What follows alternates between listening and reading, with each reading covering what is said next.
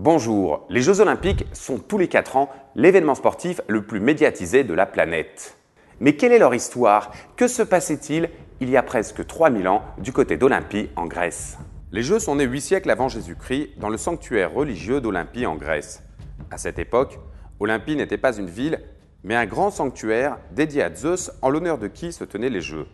Il s'agissait donc autant d'un événement sportif que religieux. S'ils sont les plus connus, les Jeux olympiques n'étaient pas les seuls Jeux de la Grèce antique. Il y en avait jusqu'à 300 différents.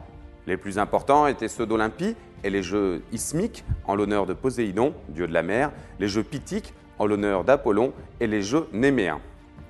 Les Jeux étaient organisés sur un cycle de 4 ans, ce que l'on appelait une Olympiade. Toute la chronologie du monde grec antique était d'ailleurs basée sur cette unité de temps de 4 ans. Les Jeux avaient lieu lors de la première année de l'Olympiade et étaient ouverts aux citoyens grecs masculins et riches qui représentaient leur cité. Ce n'est que sous l'occupation romaine que les Jeux vont s'ouvrir aux autres pays. Les épreuves se divisaient en deux catégories. Les épreuves hippiques, avec les courses de chars à deux ou quatre chevaux, et les épreuves athlétiques, course à pied, pentathlon, lutte, pugilat et pancrace, un sport de combat qu'on pourrait comparer au free fight d'aujourd'hui. Le pentathlon était composé du lancer du disque, du javelot, du saut en longueur, de la lutte et d'une course à pied dans le stade olympique. Les premiers Jeux officiels eurent lieu en 776 avant Jésus-Christ et c'est à partir de la 7e Olympiade que le vainqueur, dit champion olympique, reçut une couronne d'olivier sauvage, un ruban de laine rouge et une branche de palmier. Les Jeux olympiques devinrent vite très prestigieux et la gloire des vainqueurs rejaillissait sur leur cité. Dès le 5e siècle avant Jésus-Christ, la plupart des athlètes étaient des professionnels couverts de cadeaux et d'honneurs, et certains n'hésitaient pas à passer d'une ville à l'autre au cours de transferts qui pouvaient parfois déchaîner les passions.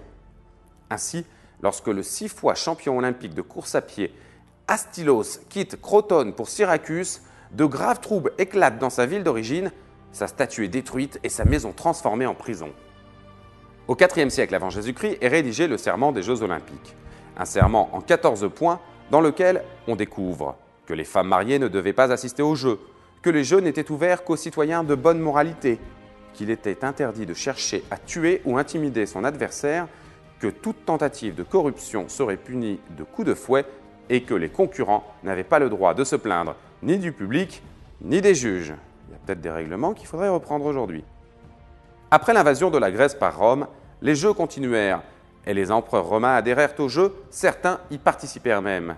Mais la christianisation de l'Empire romain au IVe siècle eut malheureusement raison de cette tradition païenne, et en 393, l'empereur Théodose Ier suit les conseils de l'évêque de Milan et fait interdire les Jeux. Les premiers Jeux olympiques auront donc existé pendant presque un millénaire. Il faudra ensuite attendre plus de 1500 ans pour qu'à la fin du XIXe siècle, le baron Pierre de Coubertin recrée les Jeux olympiques modernes mais ça, c'est une autre histoire.